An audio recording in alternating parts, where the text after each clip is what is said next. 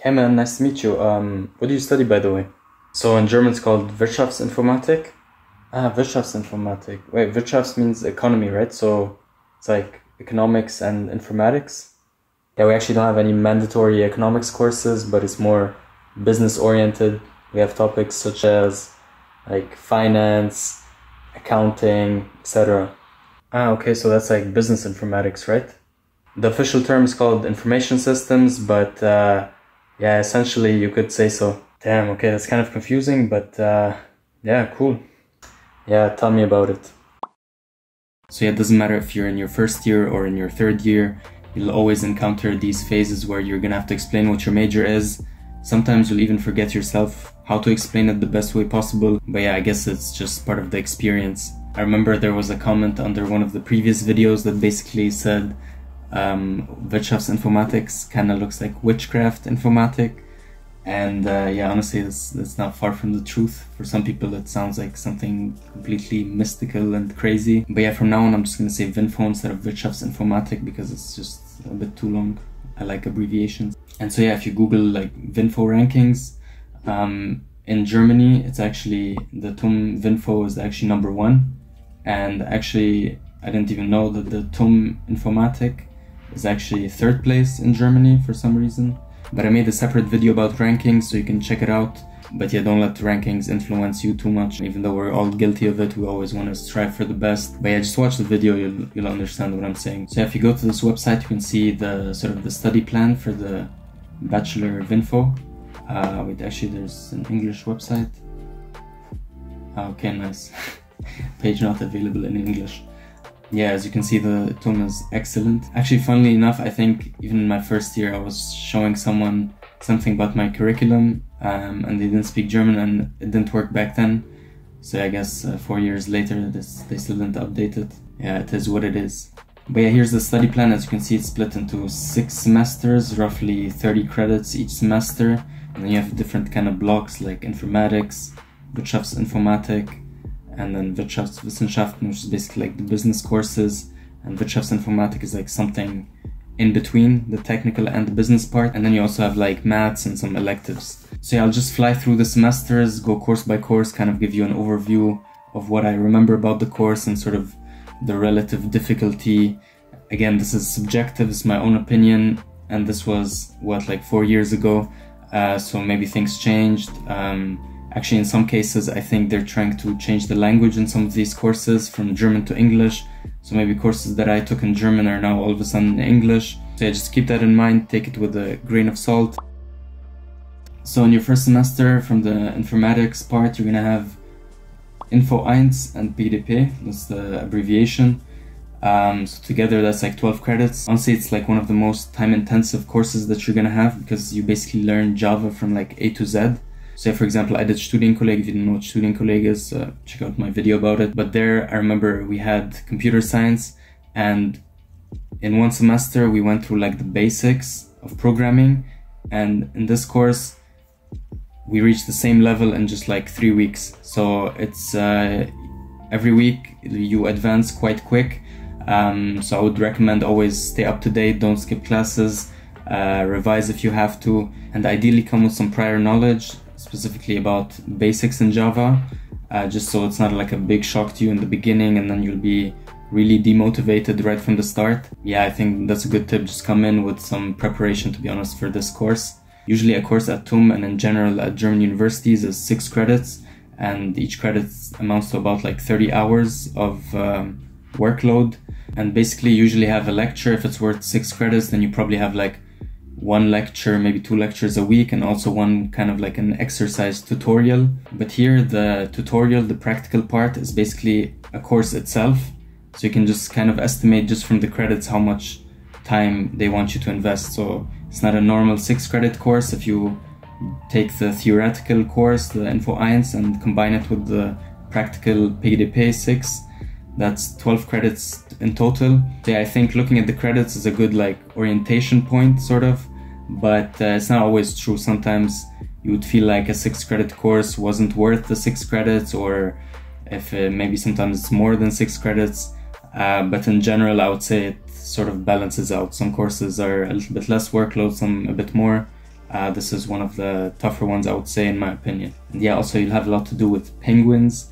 Um, I can't explain it right now. It's sort of like an inside joke. I don't know if it's still a running joke in that course. But yeah, maybe if you ever take the course, then you'll figure out whether it's still ongoing. From Winfo, this is sort of introduction to information systems and it basically covers what even is information systems, how, how information systems are used in companies. Specifically in this course, there's more modeling, so it's like more theoretical. Um, as far as I can remember, there's no programming whatsoever. Um, so it's more about like diagrams, ERMs, like entity relationship models and whatnot. Oh yeah, and I forgot to mention the previous course. So Info 1 and PGDP is in German and Intro to Winfo is also in German. The introduction to Winfo sort of at a medium level. I think there's a lot of like theory to cover. You have a lot of slides and stuff, but I think it's very doable. Also, I feel like these Winfo modules, some people really like them. Some people don't like them because they feel like it's just a waste. Like, why not take informatic courses and then business courses and then that's kind of enough and these winfo modules are kind of overkill because sometimes over the semesters you feel like we're just like repeating stuff and i don't know if it's just me but like from these courses what i remember is that they always had these crazy diagrams feel like they just go into powerpoint and choose shapes and then they just click every single shape there is and put it into one slide yeah honestly sometimes the slides in these Winfo modules I, I was a little bit skeptical about. Pretty sure they added some value, but yeah, as I said, I feel like it's uh, mixed feelings about these modules. But yeah, until you take one or two, then you'll get the feel of it, and uh, you can decide for yourself if it's like uh, something that you like or not. Also, if you click on any of these modules, then you'll be redirected to a website, and you can even change it to English up here, um, and sort of see what the requirements are and then you can kind of see what the prerequisites are, how the examination is done, what you will be learning content wise. I'm just skimming through them and giving my opinion on them. But uh, obviously, if you want like a more detailed overview, then just click on one of them and then you can see a little bit more in detail of what you can expect. The next one, Buchführung und Rechnungswesen, that's basically financial accounting. And yeah, I think you'll quickly notice there's a difference between the exams at the Faculty of Informatics and at the uh, School of Management, usually at the School of Management. So with these business courses, it's typically multiple choice and uh, the exams are fairly easier. And yeah, with this course, you learn about financial statements and assets and liabilities and so on and so forth. I think they're good basics, whether you want to go into accounting, start your own firm, whatever the case may be. I think it's solid basics that I think everyone should know. And yeah, also these business courses, uh, you can either take in English or German. I remember I think I took this in German, but it really doesn't matter. You still get six credits if you take it in English. I usually recommend for foreign students to take it in German because you can, you know, improve your German, learn more German.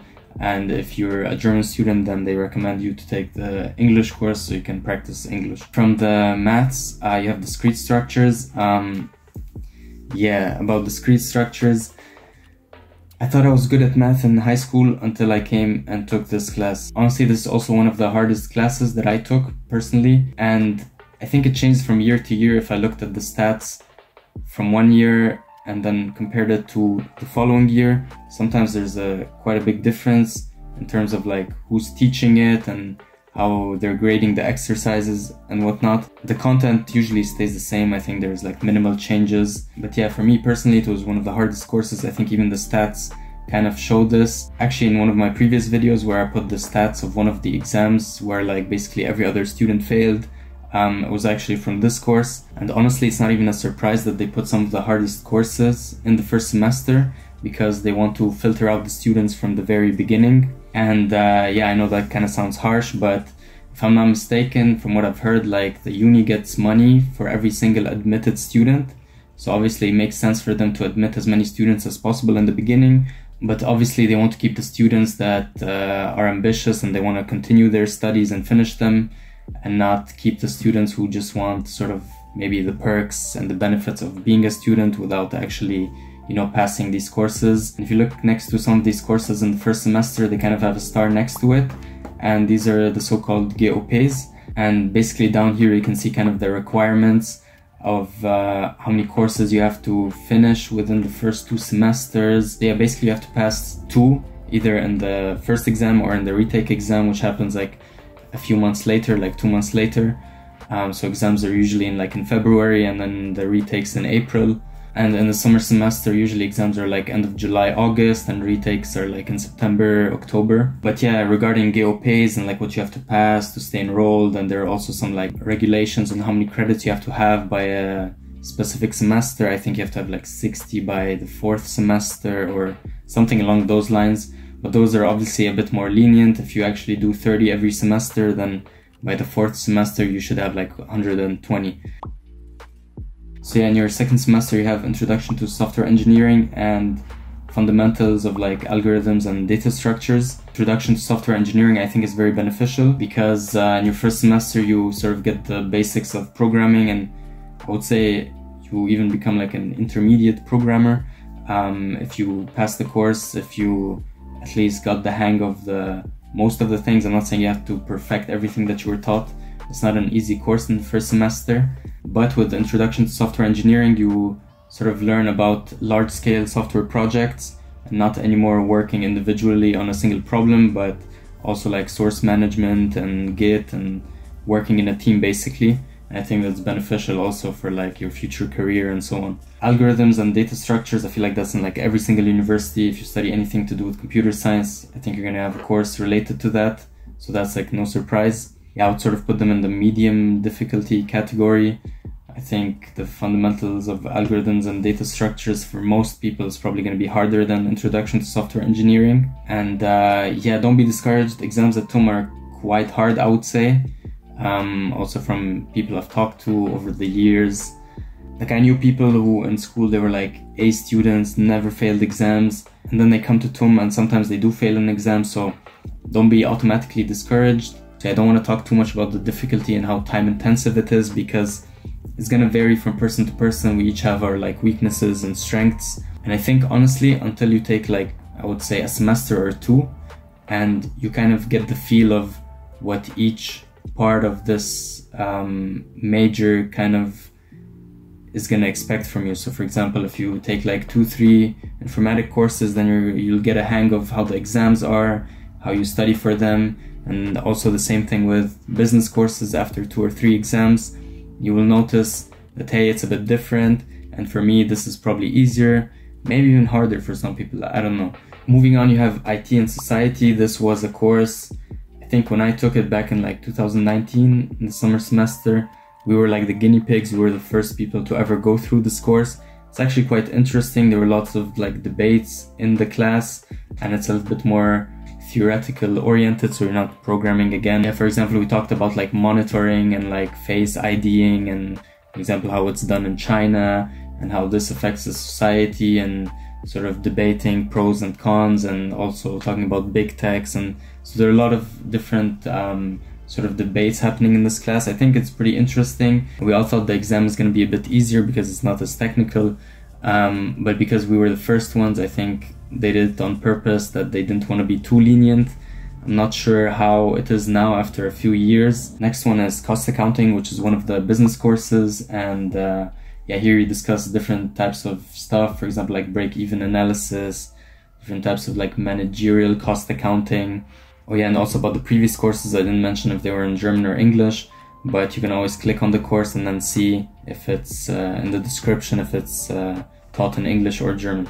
For example, Introduction to Software Engineering is in English, but Data Structures and Algorithms is in German. And yeah, next up is Linear Algebra from the math part. And honestly, out of the three big math courses that you have to take, which are all worth 8 credits, I would say this one was the more pleasant one in my opinion. Because um, in the first semester it was still kind of like a shock, you know, being new to uni, you have all these hard courses. So this was a bit more like lenient. I'll get to the last math course in a bit. But yeah, linear algebra I think is like a base for a lot of things that you will do in uni, especially for the more advanced courses and now all the hype about machine learning and neural networks and so on. So I think this is something that you're gonna have to um, take and I think it's a good base, as I said, for also more advanced topics. In the third semester you have databases and I think even a prerequisite for this is discrete structures, which you had in your first semester.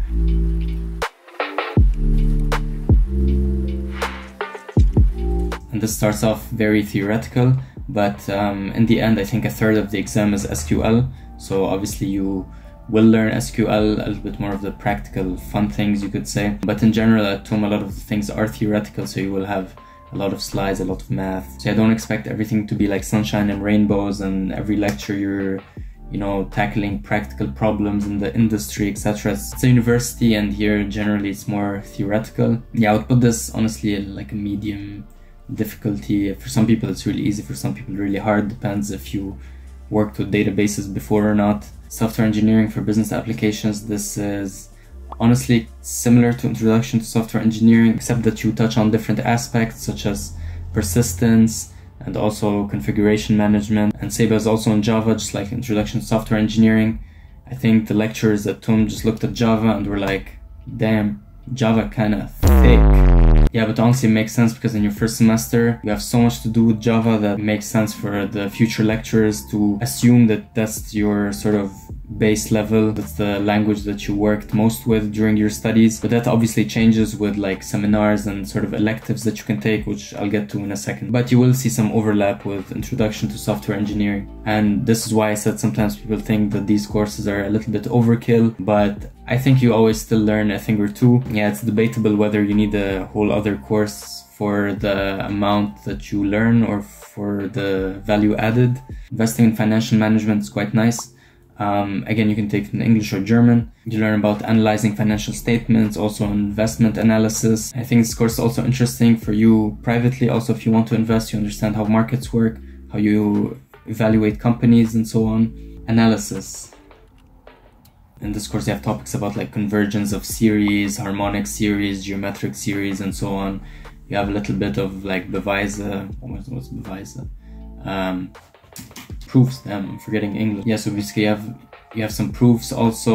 And yeah, these math courses, as I mentioned previously, are worth eight credits. Some people say it's too much for a math course and it actually should be six. But if you look at the statistics, more people fail these courses. So I don't know, I think it's appropriate that it has eight credits. For some people, it's too theoretical and there are a lot of proofs. But yeah, even in high school, I had calculus and thought this was going to be a bit easier since I have some like prerequisites. Still kind of tough for me, but again, I think it's very doable as well. And then you have the Wahlmodule, so the electives. I think you have 15 in total in your whole studies. I was actually stupid and I thought we need 25, so I did more than we had to. I did economics 1 and 2 so macro and microeconomics which i think is quite nice because in the whole study plan you don't have any mandatory economics courses and i mean the major itself, Wirtschaftsinformatik, Wirtschaft literally stands for, I mean, it means economy. So I think it's nice to have at least one economics course. I took both because they sort of build up on each other. These courses were worth six credits, so they're kind of like a normal course, you could say. And then I took some smaller courses like autonomous driving, which was worth three credits. I think most people take it in their masters if they study like robotics. But yeah, I found it interesting, so I wanted to take it. Quite nice, but it was very physics heavy, and we had like no physics whatsoever in our first like two years at TUM. Actually, in your whole major Wirtschaftsinformatik, you don't really need physics, but it was still a nice change up. It was still interesting. I think with the electives, it's nice. It's your only sort of time to pick something that not everybody has to take. So I mean, that's why it's called elective. But yeah, I would recommend do a few, even do more than what you have to do because then you can always pick and choose which one you want to be in your certificate. I mean, in your diploma, and then the rest will be in your Zusatzleistungen, so sort of extra courses you completed. And yeah, I mean, even though you don't have to, I think it's still a good idea in my opinion. And yeah, other than that, I took entrepreneurship, which was also three credits, and I also took networks for monetary transactions, I believe. Course, organization wasn't like optimal to be honest, but you still learn a thing or two. Yeah, the exam also wasn't that tough. It was also pretty interesting because it was like a fintech course, you could say, which for me was quite appealing. Okay, moving on to the fourth semester. Fourth semester, you have networking, Rechnernetz and verteilte Systeme. I think this is quite important because I think in every computer science degree you need some sort of networking class to understand how protocols work, how the internet came about. So I think this is quite nice. I think in this course you either have the option of doing the exercises either in C, C++ or Java. Again, Java is going to be like universally accepted at TUM because that's what you start off with. And a lot of the courses use Java, even some of the master courses they expect you to have some basic level understanding of Java. But yeah, other than the first semester PDP where you are graded for your programming. Every other course, the programming, the practical part is almost like a grade bonus. So if you do the exercises which require programming, you get sort of a small grade bonus, but it's not required to pass the exam. The exam at the end is mostly purely theoretical. Maybe you will have some sections where you program a little bit on paper, but uh, it's quite minimal compared to your first semester. I recommend to do the exercises because it's always more practical practice. Practical practice. Um, and you also learn more about Git and working in a team, and these are beneficial things later on for work. And yeah, I think technical unis in Germany are a little bit more focused on theory, but in real life, most likely if you end up in a job, even as a working student, it'll be the practical skills that you put to use. So yeah, I think just take every opportunity you can to practice more and more. Operations research is quite interesting because it relates to some managerial problems about planning, for example. So you have topics like linear programming, mixed integer programming, network flows. You also have the famous knapsack problem, which is quite related to a lot of the dynamic programming exercises you even have in interviews and in general, like if you know LeetCode code and so on. And I think it's also just interesting to see how you can optimize a lot of the things that you do on a daily basis. Obviously, we don't think of it that way every day. I remember in the class, which was like something about a party, someone was trying to throw a party and they had a specific number of bottles and people had certain requirements and yeah, modeling it. Obviously, you don't do this on a daily basis, but it's quite interesting to tackle it from that point of view. And yeah, it's a little bit more theoretical, a little bit more algorithmic That's not even a word, but yeah, it's more about algorithms, but in my opinion, it was easier than, for example, fundamentals of uh, data structures and algorithms. Maybe because it was a different faculty, maybe the way they taught it, I don't know. As I said, subjective could be different for other people. Empirical research methods, one of the business courses, um, mostly about hypothesis testing, statistics, but more from a theoretical point of view, like why we do it, what this helps us achieve, etc. As a Winfo student, you can choose between DWT, which is diskrete Wahrscheinlichkeitstheorie, or statistics for business students. And I think you know what most people take. DWT, I think, is required by informatics students. So if you study pure informatics, then you have to take it. Winfo student, you can pick whether you take this, which has all the past three math modules as a prerequisite, or you can take statistics, which has no prerequisites. So yeah, honestly, I would say if you're more interested in maths and more the theoretical aspects, then take DWT. But statistics, I think, is also a very good base because you start literally from zero. You talk about means and medians, and then you slowly build up to more um, advanced topics, you can say. Statistics is also more practical. You learn R, which is also quite nice. So you have like an extra tool in your technical arsenal. And also for some of the more advanced data analysis classes, it's usually a prerequisite to know some R. They're not gonna go over, you know, downloading R Studio, how to run things in R, etc. So I think it's a good course to take. Most people take statistics as a Winfo student, but if you like you want a more theoretical challenge, take DWT. And then you also have the seminar, which is quite nice. It's also kind of like an elective, so you have a lot of seminars you can take a bunch of things. Once you have so many things to pick from, I don't know, like topics from the top of my head, there was like tsunami simulation, there's like ethical hacking, like binary overflow. You can take things about like, for example, trends and information systems, something I took, for example, which even has like three subtopics. There are, however, two annoying things about the seminars. So the first thing is availability. Not every course is available every semester, and sometimes even if they drop a course, it's still sometimes on the list for like a few semesters. So yeah, the organization at TUM is um, not always ideal. There's even a sticker that goes around in group chats which says the O in TUM stands for organization.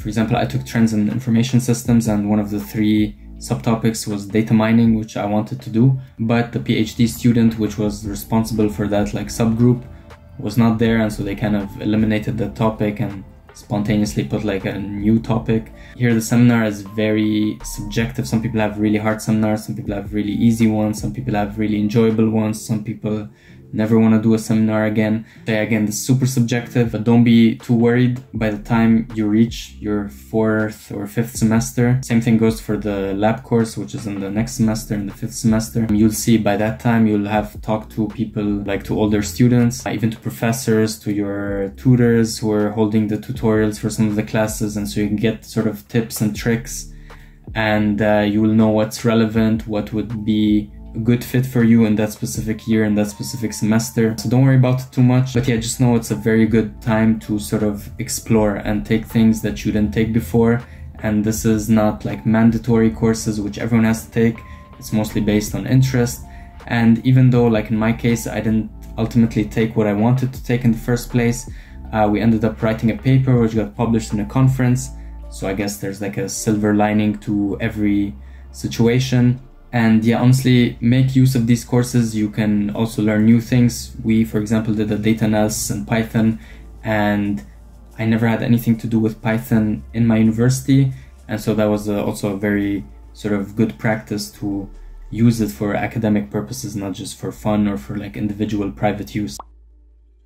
In the fifth semester, I'll maybe start from the lab course, which similar to seminar, you have a lot of topics. It's worth 10 credits, so it's more time intensive as you can tell from the amount of credits. But you also have so many topics. Again, personal interest.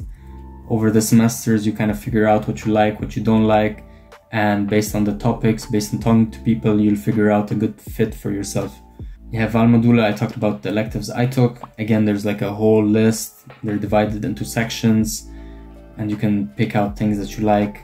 And yeah, there's there's a, a lot to choose from, so I'm not gonna go through the whole list now. And you also have electives which are called Überfachliche Grundlagen, which are basically courses that extend the type of courses that you take on a very regular basis. So for example, you can take courses about sociology, think even psychology, or what I recommend, so you have nine credits, six of those can be language courses. And at TUM, a language course is three credits, and it's not even a whole level. So for example, if you if you know the levels A1, A2, if you ever learn German or any other European languages, it's usually divided in, into this type of system. For example, one course is just half of A1, so you would have A1.1, that's three credits, and then A1.2 would be another three credits. So you can take a whole level, um, and that, that would be your six credits. I think it's a good opportunity. You don't have to spend money for a language course. You can learn it while at uni. Language courses are a little bit more chill too. Um, so it's quite nice. Yeah, so I recommend six of the nine credits to take language courses. I, for example, took Russian since I went to Russia. I wanted to have like a base level, which always helps if you want to do an exchange semester in a particular country, then it makes sense to take language courses. And the remaining three credits, you can look at the list again. It's a bit shorter than the electives for your, your Winfo electives, but you can still choose from a lot of things. In fifth semester, you also have middleware. In this course, just like in Seba, you use Java Enterprise Edition, or now it's called Jakarta, I think. And yeah, you mainly talk about middleware and web services and also large scale technologies such as like Apache Thrift and also like socket programming, a little bit of protocol design. Usually, I mean, some Winfo courses are six credits, some five. I think most of them are five. Um, so let's, it's a little bit less workload. I think I've said enough about Winfo courses at this point. Yeah, again, you can always click on it, read more about it. And in your last semester, obviously you also have electives, which I already talked about. And you should be happy as a Winfo student. Most people get 15 credits for their bachelor thesis, which lasts usually three to four months. As a Winfo student, you get 25, and your bachelor thesis should, in theory, last five months. But even if it lasts five months, then those extra 10 credits really don't make up this extra month that you do. So, really, just don't take it for granted. It's a nice bonus. Yeah, bachelor thesis, uh, when you get to that point, actually, there's no requirement how many credits you have to have before you start your thesis. Theoretically, you can start even in your first semester. But obviously, I think no professor would accept it because they would say that, hey, you still don't have some basics and a lot of different topics. Essentially, you can check out the chairs at the Faculty of Informatics I think there are over like 20 chairs, I think maybe even 30 in total. And usually they each have a website and then you can check sort of open thesis, so topics that they have proposed. And then if it's interesting for you, you can send out an email, say, hey, you're interested, this is your background, maybe you've done something related to it, either as a working student or maybe you took a lot of courses in uni related to that topic, or for example, a lot of the electives that you picked were related to that topic. So that's how people would go about it. But my recommendation is, especially in these seminar and lab courses, you typically are in a smaller group. So it's not a lecture full of like 5,000 people that are all taking the same lecture and the professor doesn't know you like by face. They don't recognize you. So yeah my tip is take advantage of these seminar and lab courses. You're usually in a smaller group setting. And if you perform well usually stay in contact with that supervisor with that phd student with that professor. And typically this will make your bachelor thesis search much easier. And it also makes sense because especially if you take it based on interest something that interested you while you took your seminar or your lab course then a bachelor thesis with a similar topic would obviously also be quite interesting to you and not only interesting but easier to get since you already had something to do with that chair with a specific professor with a specific PhD student. Yeah, that's sort of the pain that you have to go through while looking for a thesis. If you didn't sort of make connections early on, then it's going to be quite tough and you'd have to send a lot of emails. Still doable. And I think if you find no topic after like a semester or two, I think even like the examination board helps you or they give you a thesis and you have to do it. So like don't worry that like hey I'll never find anything, you'll find something, but maybe something you're not super interested in. And as I said, next level, much easier, much more interesting is if you keep in contact with these courses which are a bit smaller and the best thing you can do is if you tutor or work at a specific chair as a Hiwi for example so as a research assistant for example or as a tutor at a specific chair for a specific course. Since you helped teach that course, they almost want to return the favor and help you find something. And in my experience, that's probably the easiest way to get it and not waste too much time on the bureaucratic stuff and on searching for a topic, etc. Yeah, those would be my tips for bachelor thesis. And yeah, by that point, you have everything done. And yeah, that's the end. That's three years done. Let me just quickly say, not everybody finishes in six semesters. For example, when I started, I wanted to finish ASAP. I went like crazy. I think in my third semester, I even took like 40 plus credits. I, have no idea. I had this obsession about, hey, I just want to finish uni as fast as possible. But I'm so glad I actually took an additional year because I did an exchange semester and I wasn't sure about the credit recognition, how well that would go. So I mainly took extra things in my exchange semester and I also did an internship full time where I didn't take courses during university, but I basically focused on my internship. So yeah, my advice would be take your time unless you have a really specific goal and finishing uni as fast as possible is critical, then by all means do that. But I realized that taking your time also opens a lot of opportunities within university. So you would maybe take seminars that are more interesting take advantage while you're still a student. There are a lot of benefits, and yeah, unfortunately, I don't have statistics. How many people finish in six semesters? How many in seven? How many in eight? But honestly, it really doesn't matter. If you take three years, if you take four years, if you take five years, it doesn't matter. Obviously, try to finish um, because the longer you prolong it, I've seen out of experience, people tend to get lazy and they just leave it, and then it takes forever to finish. But at the same time, don't like rush it so much.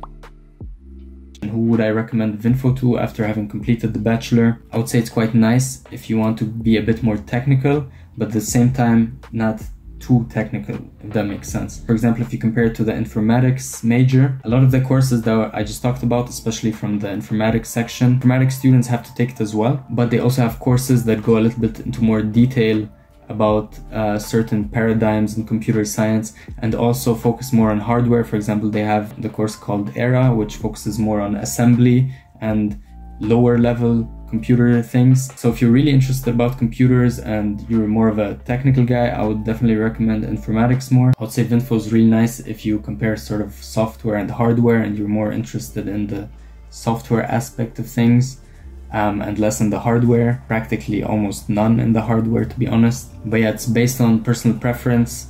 And in the informatics major, I know you can also take sort of like a minor, either like in medicine, psychology, even business, but it's the percentage of business courses that you have is much lower than what you have with um, as a Winfo student. And also, if you research more about TUM, you also know about TUM BWL, so basically management and technology, that major. And in that major, you basically have more business and economics courses.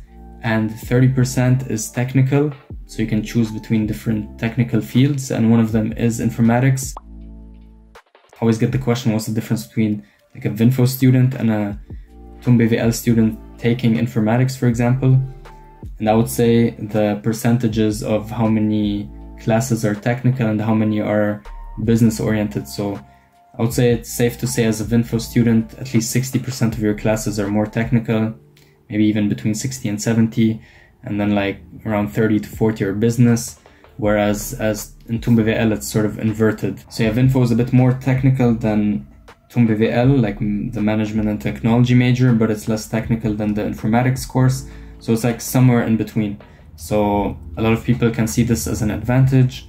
A lot of people can view it also as a disadvantage because you're kind of like a jack of all trades, but expert in none. But yeah, again, this is like debatable what's better, what's worse. I don't think it's even right to say what's better, what's worse. I think the better question is to ask Does this fit you personally?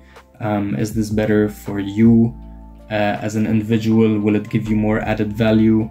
based on your weaknesses and strengths and also based upon your interests. I hope this wasn't too subjective. I'm just trying to spread some Just one last thing, actually they updated the study plan. So I started back in 2018, but now if you start every study plan that started in 2021, 2022 has a slightly different plan.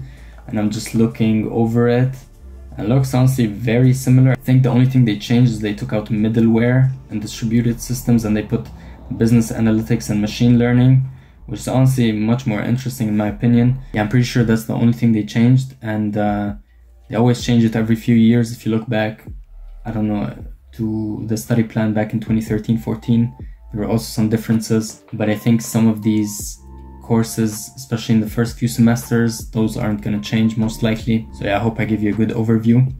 And um, yeah, let me know what type of videos you want to see and thanks for watching. See you guys next time. Peace.